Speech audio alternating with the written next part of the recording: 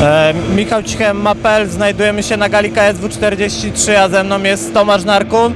E, Tomek, dzisiaj jeden z wodarzy powiedział, że jesteś już zawodnikiem, na którym można budować całe eventy. Schlebiają Ci takie słowa ze strony wodarzy?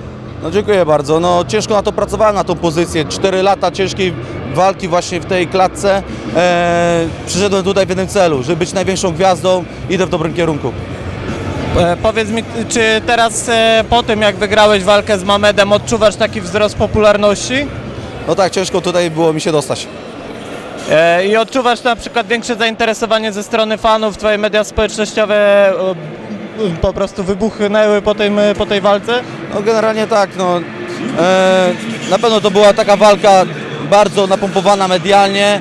Także miałem dużo do zyskania, wykorzystałem swoją szansę, udało mi się pokonać Mameda. Eee, także, także same pozytywy.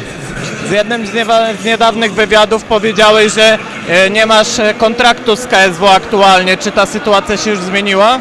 Znaczy to tak było tak tylko po prostu gdzieś rzucone. E, tak naprawdę posiadam kontrakt z federacją i w najbliższym czasie na pewno to się nie zmieni. I co teraz dla Ciebie? Myślisz o kolejnej obronie pasa, czy chciałbyś e, jakiś inny super fight? Znaczy na dzień dzisiejszy jeszcze nic nie wiem. E, włodarze może coś więcej wiedzą. Ja po prostu jestem od wykonywania swojej pracy. Zobaczymy jak się dzisiaj potoczy e, waga ciężka, e, kto wygra. E, zobaczymy, czas pokaże.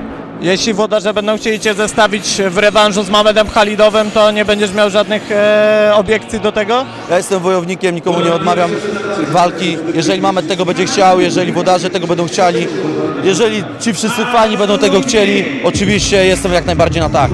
Najbliższa gala będzie już w Gdańsku. E, czy zamierzasz tam wystąpić? E, czas pokaże. Jeszcze nic nie mogę powiedzieć.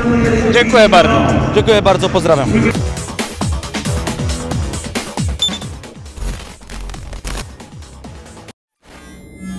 Música